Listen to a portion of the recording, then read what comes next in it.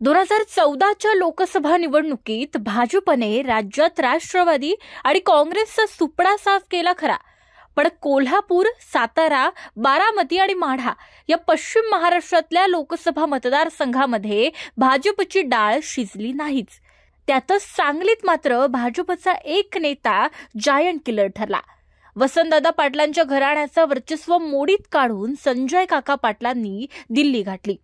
दोन हजार एकोणीसलाही तिहेरी लढतीत संजय काका पाटलांनी बाजी मारली आणि आता ते दोन हजार चोवीसच्या तयारीला लागल्यात दोन हजार चोवीसची लढाई सुरू होण्यापूर्वी संजय काका पाटलांसमोर एक सर्वात मोठं आव्हान आहे आणि त्याची चिंता भाजपलाही आहे. वर्षभरावर आलेल्या निवडणुकीसाठी आपल्या समोरचं सर्वात मोठं आव्हान पेलण्यासाठी संजय काका पाटलांनी कशी तयारी सुरू केली आहे तेच या व्हिडिओत पाहू. मात्र व्हिडिओला सुरुवात करण्यापूर्वी एक महत्वाची आठवण. तुम्ही जर मटाचं युट्यूब चॅनल अजूनही सबस्क्राईब केलं नसेल तर ते जरूर करा.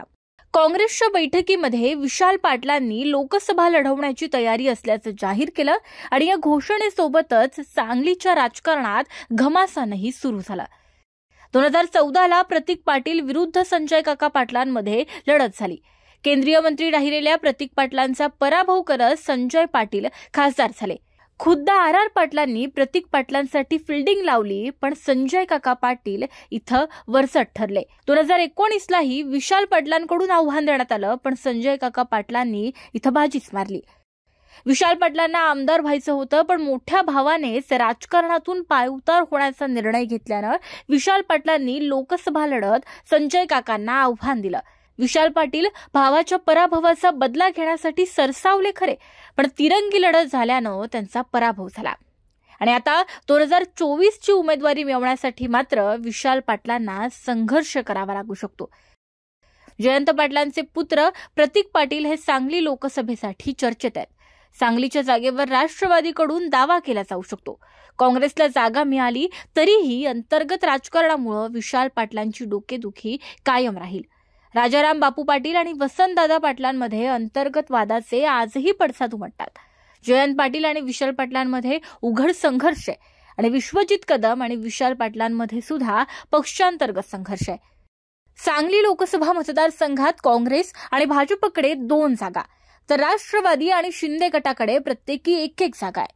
भाजपची तुल्यबळ ताकद आहे असंही काही नाही.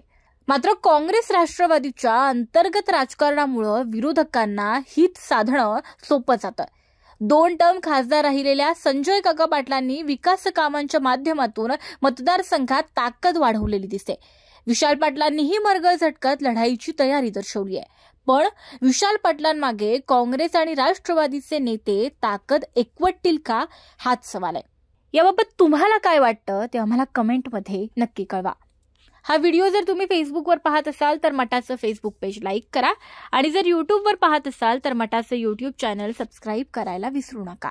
असेच व्हिडिओ आमच्या यूट्यूब चॅनलवर पाहत रहा.